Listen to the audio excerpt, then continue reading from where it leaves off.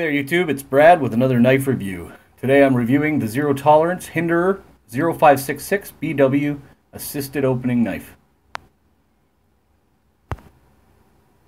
The 0566 is the kind of smaller brother to the 560 slash 561 model. Um, beautiful size. The 560 is a big knife. This is a little bit more suitable for EDC.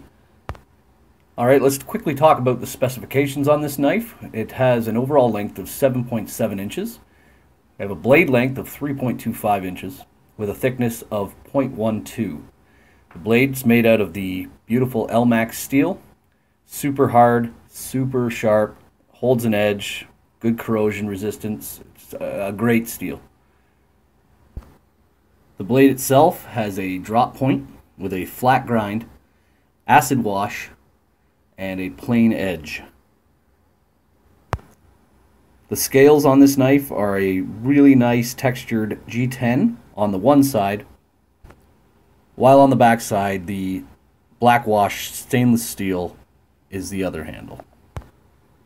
Here we have the standard ZT pocket clip, which has got a nice retention. It's not too tight, but it's not loose that it's going to be falling out of your pocket. We have a large lanyard hole suitable for paracord. We have on the middle of the handle we have a frame lock with a lock stop to keep it from over traveling. It uses Torx hardware on both sides.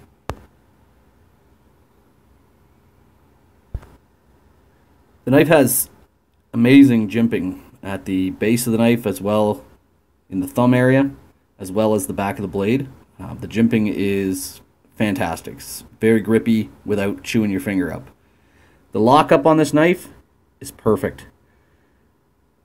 There's no play in the blade at all. Left to right, up and down It's probably the most solid knife I've ever owned. The deployment on this knife is flipper style. Although it shows a thumb stud, it's not designed for using. It's meant to be there as a blade lock and it works very well. Deployment on this knife is exceptionally fast, exceptionally strong. It has the flipper on the back here, and with a simple flick, the knife jumps out with lightning speed, and again, no play in the blade at all.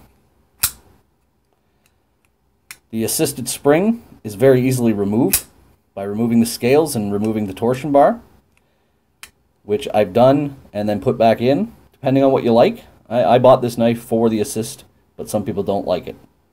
I do.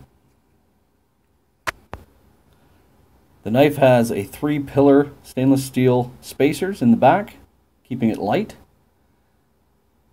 And as you can see,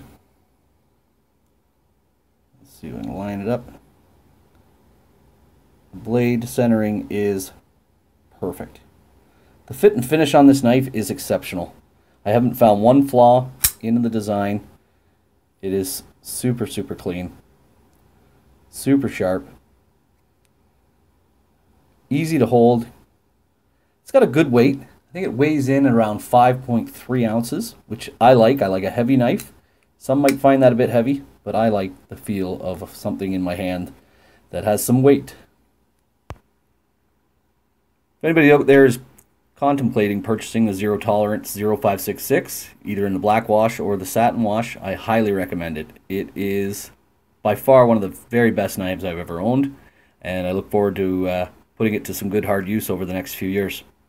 Thanks for watching, and stay tuned for my next review. Take care, YouTube.